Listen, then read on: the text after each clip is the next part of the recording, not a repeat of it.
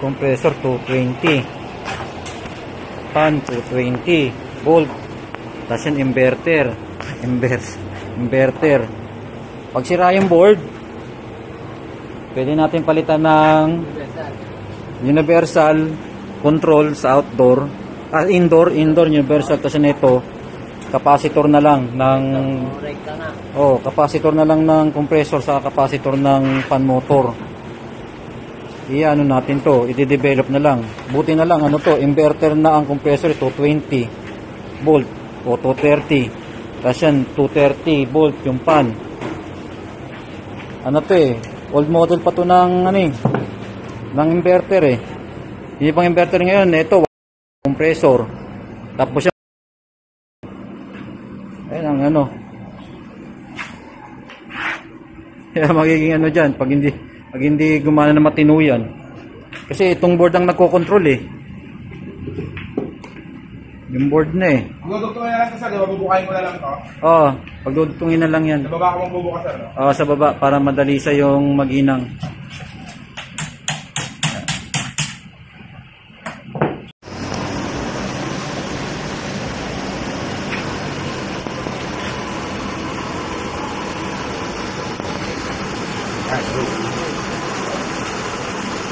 Nagbaga pahit.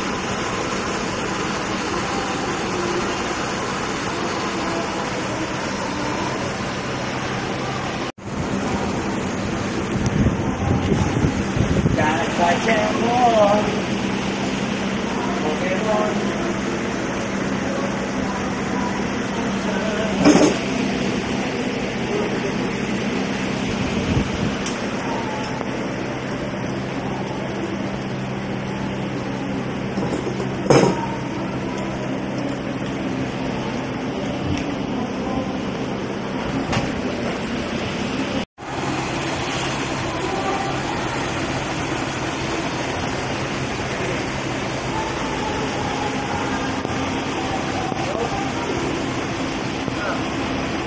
Yan, inverter.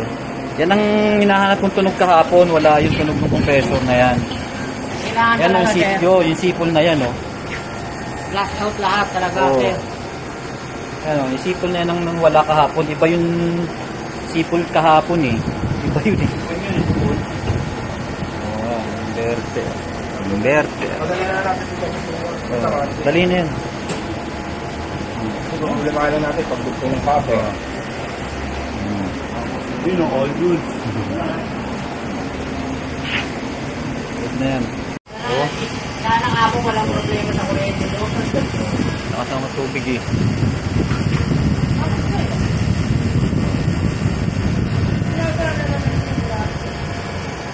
Kailan lang naman namatay yan? Nasira yan January.